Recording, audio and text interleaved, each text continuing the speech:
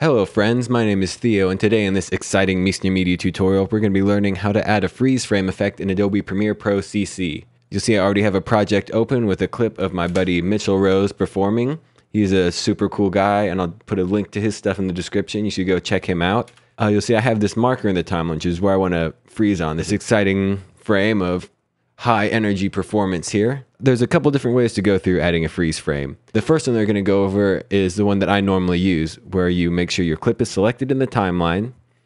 Go up to the clip menu, go to video options. I'm going to insert a frame hold segment. And this basically inserts a clip of this still image where your playhead is in the timeline. So you see we have this new clip right here and it's ripple edited the clip to the right down the timeline. So whenever we play this again, we'll see it plays through some and then we get a freeze frame right there.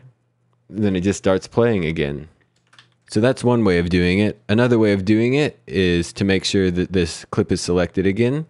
Go up to clip, video options, add frame hold. And what this will do is it will just cut the clip at this point and have this whole part to the right of the playhead be the still image and then to the left it'll still play normally.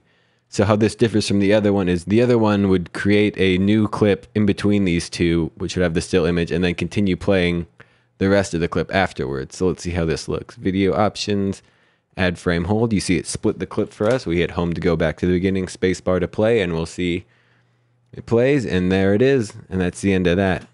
You know, you could fade it out if you wanted to.